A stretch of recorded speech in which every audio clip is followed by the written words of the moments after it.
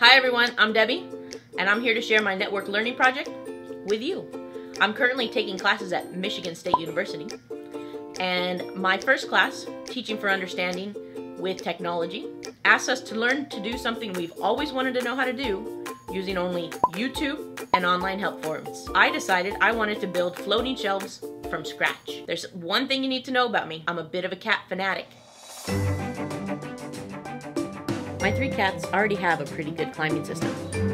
They can go from the cat tree, across the entertainment center, and onto the shelves on the back of the door.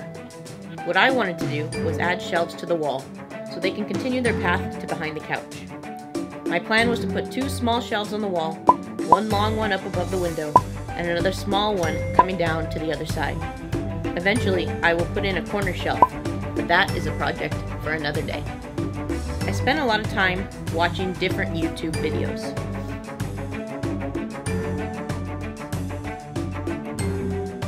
I also read through some online forums about woodworking. I found the YouTube videos to be the most helpful.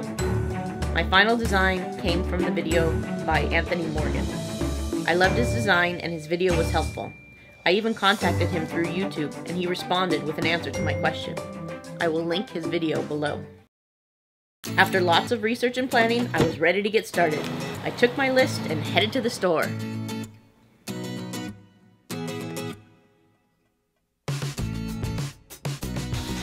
So many choices. What's a girl to do?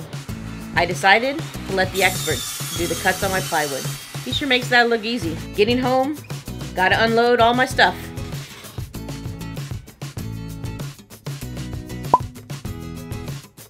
Wood, drill, drill bit, magnet, tape measure, screws, more screws, safety goggles, and we're good to go. Time to get to work! Using the table saw was intimidating at first, but I gained confidence as I worked.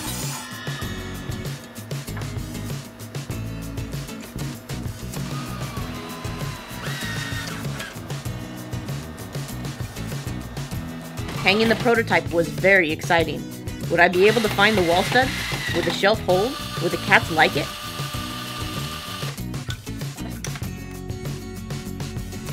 Success! And now for the finishing touches. Cut 1x3s to use as finishing boards around the front of the shelves. Cut the carpet to add to the top. Nail gun to secure the carpet. Attach the finished shelf to the cleat on the wall using screws, and we're done. After getting through the first shelf, the rest were a lot easier. My confidence grew the more I worked. The first one is mostly done, waiting for the wood glue to set. Gonna move on to the uh, next attempt. Hi everyone, I'm back. Uh, having completed a good portion of my project, I learned a lot it was a lot of fun. Using YouTube and online help forums is something I've done before, but it really was interesting to try and do it to learn a hands-on skill. It's not something I've done before. So that was really fun. The shelves are complete. We got the carpet on. I got the front panels going on. Uh, but as you can see behind me, an unexpected home improvement project sprouted up. So I'm gonna have to wait for the install on the walls until that's completed. I'm gonna paint the walls and it's gonna look pretty nice. I'm hoping to use the paint to, to paint the outside of this as well. And should be a good time. Um, I learned a lot from this project.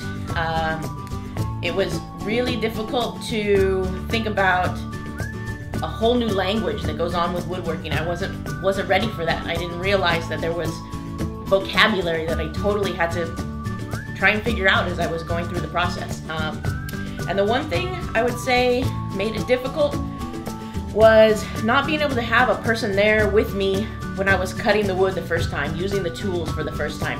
I think I was a little insecure. If I had somebody there telling me, hey, you're doing this right or this wrong, I think it would have been a little bit easier.